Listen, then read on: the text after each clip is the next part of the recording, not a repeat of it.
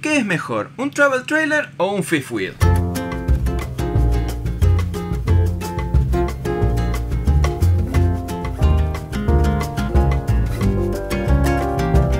Bienvenidos a una nueva guía de Totalmente Perdidos. Ella es Leti, yo soy Andy y para los que no nos conocen, vivimos en Estados Unidos viajando con nuestra familia en una casa rodante desde junio de 2019. En nuestro canal vas a encontrar guías, tutoriales, shows de RVs, tours de casas rodantes, motorhome, campervans, autocaravanas y todo tipo de vehículos de recreación.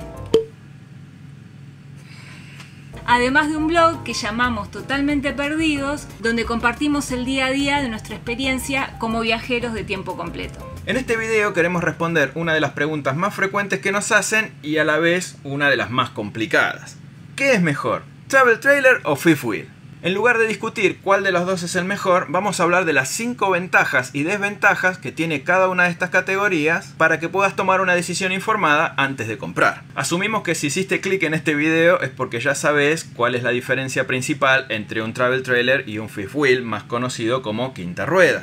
Pero por las dudas te haya picado la curiosidad, te cuento que son dos categorías de RVs o vehículos de recreación que necesitan ser remolcados por un vehículo motorizado como puede ser un SUV, una van, una pickup o un semi. La diferencia principal es que el travel trailer se remolca con un enganche detrás de la camioneta y el fifth wheel sobre la caja o la cama de la misma. Antes de empezar, queremos aclarar que esta comparación la hacemos entre un travel trailer y un fifth wheel de similares características. Claro, porque hemos visto muchísimos videos comparando un travel trailer de un eje de 17 pies que lo puedes llevar con un SUV, contra un fifth wheel de tres ejes que puede llevar hasta una moto adentro. Sería una comparación ridícula. Bueno, vamos a los cinco puntos. Vamos.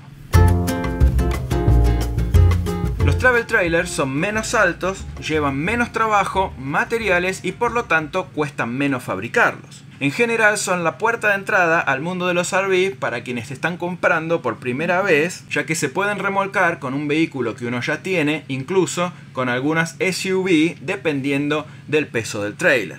Por estas razones hay más variedad y también resultan más fáciles de vender. Por otra parte, hay travel trailers de más de 35 pies de largo que son tan caros, pesados y difíciles de vender como algunos fifth wheels.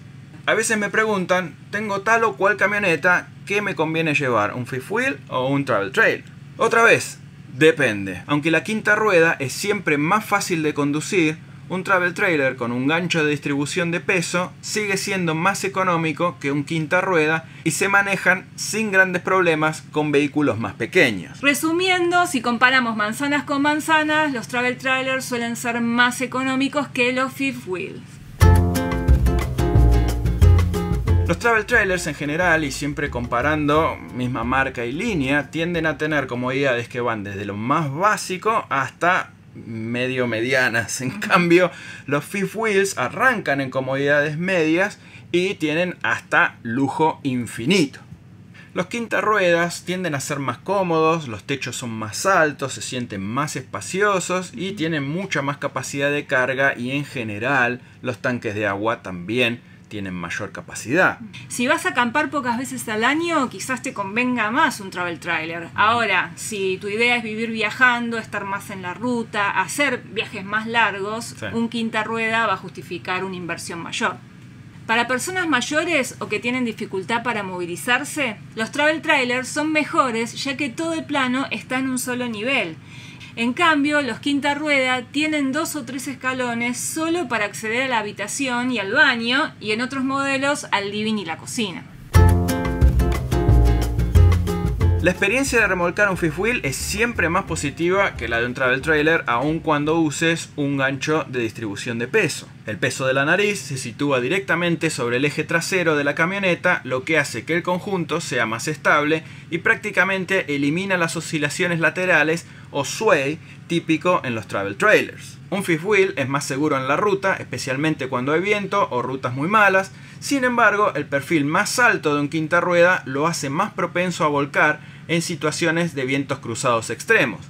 Con vientos frontales los travel trailers tienden a romper mejor porque son naturalmente más bajos. De todas maneras, en casi tres años de viaje prácticamente no hemos tenido problemas con situaciones de vientos extremos. Eh, porque ¿qué hacemos? Chequeamos el app del clima, sí, siempre antes de salir. Sí, de paso te comento que acá en esta tarjetita vas a poder ver un video que hicimos con las 10 mejores apps que usamos para conseguir lugares para acampar y también para determinar cómo va a ser el clima en el camino. Muy, pero muy importante, los fifth wheel que se pueden remolcar de manera segura con una camioneta de media tonelada, como por ejemplo una F-150, una HD 1500, una 1500 de GMC o algo parecido, son muy pero muy pocos sin importar lo que digan los vendedores o las etiquetas que tengan pegadas. Se necesitaría un modelo de F-150 muy muy específico con diferencial de 410, con amortiguación reforzada, recontra super ultra turbo diésel, para poder recién llevar un fifth wheel como nuestra casa que está marcada como HT o half ton. Lo que pasa es que sin importar las especificaciones de remolque que te digan en el manual de la camioneta, por el peso específico del vehículo, la casa va a tender a manejar la camioneta en la calle y no vas a querer que eso suceda. Además, le va a costar cargar la nariz del fifth wheel en la caja de la camioneta aunque tenga amortiguadores reforzados o bolsas neumáticas. Hay fifth wheel más livianos, pero la calidad disminuye notablemente. No bueno.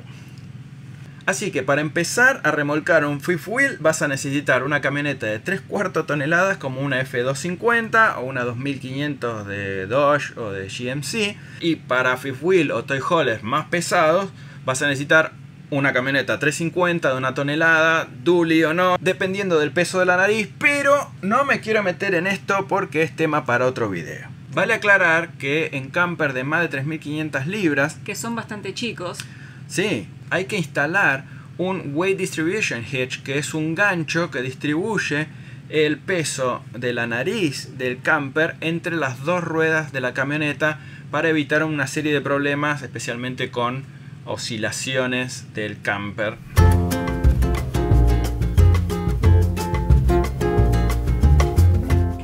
Rueda definitivamente brillan en este aspecto y la verdad nunca escuchamos a nadie quejarse del espacio que tienen para guardar cosas en su RV. En el caso de los travel trailers, al no tener el gancho en la caja de la camioneta, ese espacio se puede aprovechar para poner carga que incluso se puede cubrir con una tapa de fibra o una lona para que la carga de viaje más segura. Pero que esté vacía no quiere decir que le puedas poner toda la carga que se te ocurre porque hay que tener en cuenta el payload que tiene la camioneta su capacidad de carga para que no andes por la calle como una lancha así.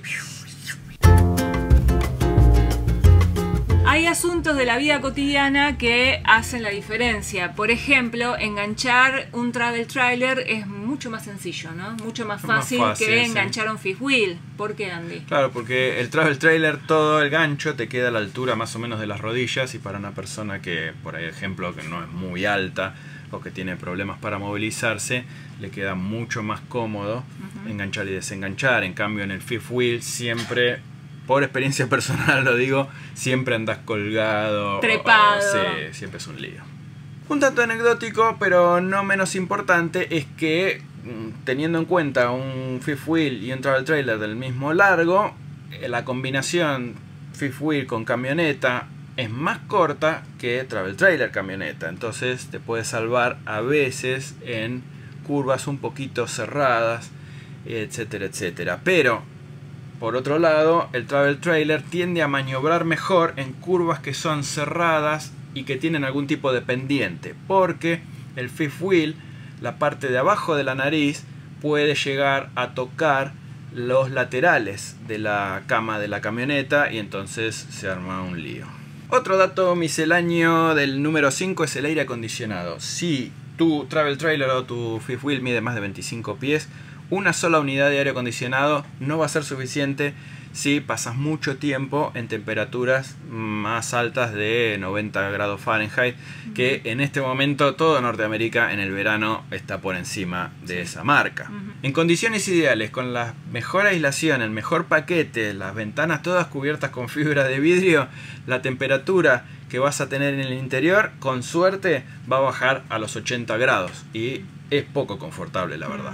Como en general los travel trailers vienen con un solo circuito de 30 amperes, solo van a poder manejar una unidad de aire acondicionado. Dicho esto, en el rango entre 32 y 36 pies en las marcas principales, los travel trailers están achicando las diferencias respecto de los fifth wheels en comodidades, calidad y facilidad de remolque. Aunque también en el peso y en los precios especialmente las diferencias también son menores.